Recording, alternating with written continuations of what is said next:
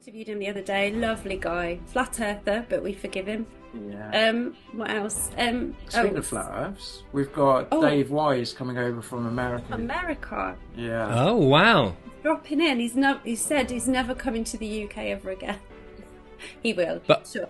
But it's just for for the time being. This is the only time you can catch him in the UK for a long time. So we're very privileged to have him. Yeah, he's got Oh, right. Ian as well. I think you interviewed Ian a little while back.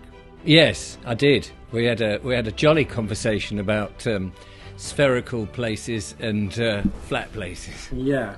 So because um, so Ian and Dave are going to be doing well. They've got a, a, they've got their talks, but they've also got a big marquee as well.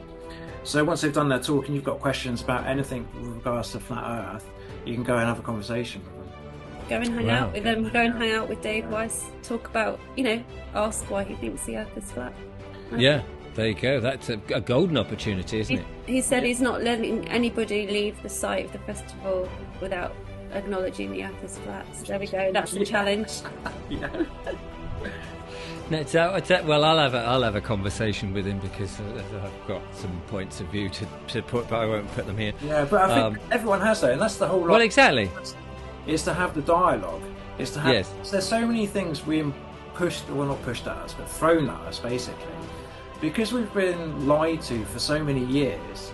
And then all of a sudden, you go all down these rabbit holes, and you go, "Oh, blimey, look at this! Oh, look at that! Look at this!"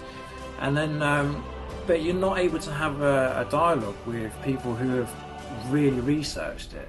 So this is a good opportunity to come over and um, ask the questions what you've got,